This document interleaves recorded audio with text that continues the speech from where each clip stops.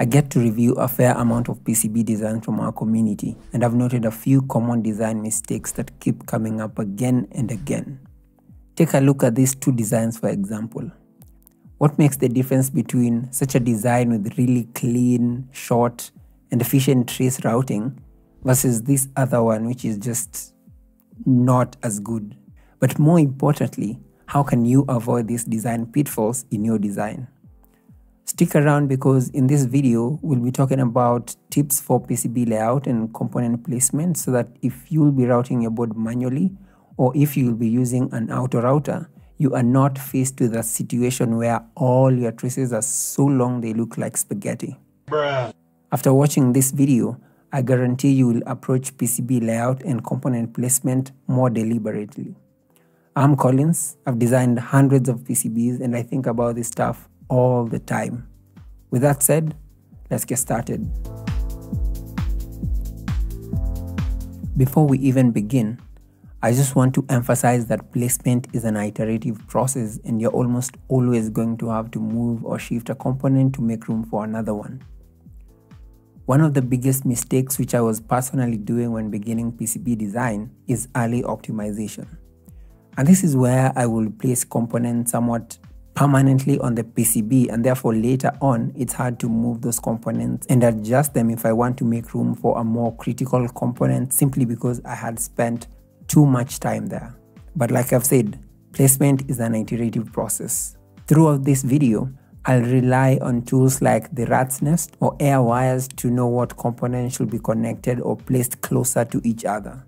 This will obviously go hand in hand with switching from schematic to PCB views when selecting components. I'll also be using the alignment guides in Flux when I want to make sure the components are nicely aligned with each other. Right, now let's get started, for real this time. If you have some hard mechanical constraints, a good place to start is defining the board outline and then placing all the mechanical components like connectors or mounting holes as specified by the mechanical engineering team. Then be sure to lock these components in place just to avoid accidentally nudging them while moving other components around because obviously this can create alignment issues down the line. But if you're not working with any sort of physical constraints, I'll just leave this until I finish the placement, after which I can resize the board to fit the layout neatly.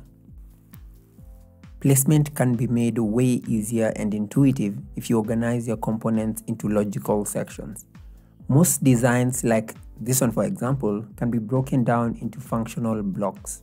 I have the power management section here which contains a voltage regulator, a power distribution switch here, and a battery charging IC. In the middle, I have the main IC section, which has the main processor, a 12 megahertz crystal oscillator, an external flash, and a bunch of uh, decoupling capacitors. I also have the transceiver section, the micro SD, the microphone, and a connector. To group components logically, I'd start by highlighting the middle section in this schematic. Since Flux supports cross-tab selection, Switching over to the PCB tab will automatically have the entire section including the main IC, uh, the decoupling capacitors and related components pre-selected and therefore I can just drag them around. I can then jump back into the schematic tab, select the entire power management section and in the PCB tab, I drag the selection to just isolate it from the rest. Like I said before, you also have this rat's nest or these air wires, which will guide you to know which components that will be placed close to each other. And if you wanted to see them clearly, you can turn off this grid or I'll just keep them on. A rule of thumb here is the neater your air wires are, the simpler your routing will be. After the logical grouping, I will start with the centerpiece of this section. And here by centerpiece, I simply mean the component that serves as the main focus of the section and has the most connection to other components in that group. Here this RP2040 is my centerpiece, so I'll just place it somewhere centrally. Other important components in this section include these decoupling capacitors. So I'll start by moving them in place, just somewhere near the IC as an initial rough placement. But I have to take care that I don't put it too close to the IC that it later causes assembly issues. Later in this video, we'll talk about how close is too close and we'll cover this with regards to different manufacturers. I can then move to the oscillator. Placing it as close as I possibly can to the IC will help me later on be able to use short traces to make the electrical connections. If you're not sure where to begin, some datasheets will have a section dedicated for the PCB layout guideline of that component, and therefore you could start there. For example, if I open the datasheet of U3 and scroll to the bottom, there is this PCB layout guide. Here the manufacturer recommends keeping traces as wide and as short as possible, but you can only achieve this by placing components as close as possible to the main IC. And that is what we are saying here. Place input and output capacitors as close as possible to the input and output pins to lower the inductive impedance and improve the transient performance.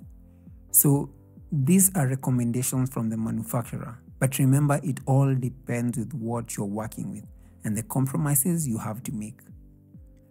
The final tip when it comes to component placement and one which is usually overlooked is using the 3D viewer.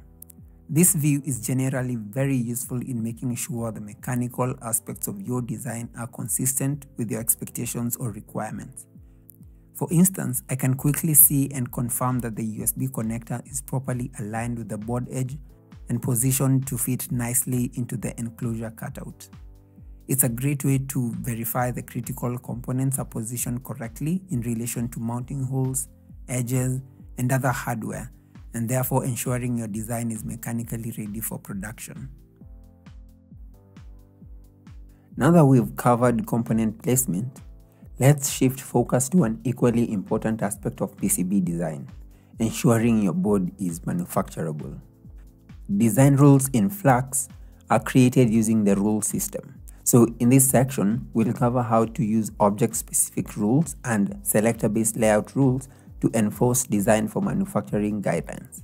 These guidelines are typically found on your manufacturer website under the capabilities section and different manufacturers have different capabilities such as minimum trace width, via sizes, spacing requirements, and many more. So therefore it's important to either reach out to them or double check from their website. By setting up these constraints in advance, we ensure that when it's time to route the board, we are using the correct design rules that align with the manufacturer's capabilities. Let's start by choosing an appropriate stackup. The stackup determines the number of layers, copper thickness, and overall structure of your board.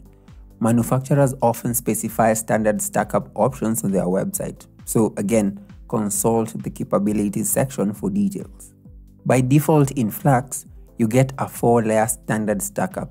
However, you can always change that by selecting the layout object, going to the object specific rules, and here you can see a bunch of pre-built manufacturer templates to get you up and running quickly. For this project, I'll go with the JLCPCB 4-layer stackup which also configures the via sizes to align with the manufacturer's guidelines. Next, we'll configure our preferred trace width. Here we'll ask Copilot to look at all the nets in the design and recommend preferred trace width sufficient for current handling and aligned with the manufacturer's capabilities. For example, I can type in a table format, recommend preferred trace width for the different nets in the project considering JLCPCB's manufacturing capabilities. Copilot will take a minute and then give me those values in a nicely formatted table. To add this into Flux rule system, I first change to the rules tab here. Then click add rule set, select the newly added rule set, and on the inspect panel, I want to change the name to preferred trace width. You can add a description there, but I'll just leave it empty and go to the selection criteria. Here I want to target all the nets, and to do that, I just type net. Then finally, you'd click this button to add a new rule that will apply to all the nets. So here I can search for preferred trace width, uh, select it and click add again to add it. You can use these default values or the ones Copilot recommended, or just put in values that you deem appropriate. Also, remember to add the important flag to ensure this rule takes precedence. If you like an in-depth tutorial on these selector-based layout rules, I've linked some tutorials on the description box below, so check it out. Okay, you could also set the trace width of a particular net or nets to different width. For example, in this project, you can see I have VBAT, VIN, VSOLAR, and the USB net, which I would maybe like to have wider trace width.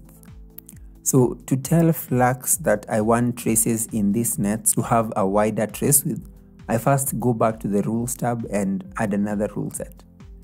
I select it and go to the inspect tab where I can change the name to something like power trace width. For the selection criteria, I'll type in this selector. And this selector will target all the nets with the keyword in in them and this will make sure I select all the nets that I want. I'll then add a new rule called trace width and change the default value from 10 to 20 mils so that when I begin routing or if I'm using an auto router, 20 mils will be the default trace width for those nets. And there you have it. By following these tips for component placement and using the rule system effectively, I'm pretty sure even your auto router will thank you.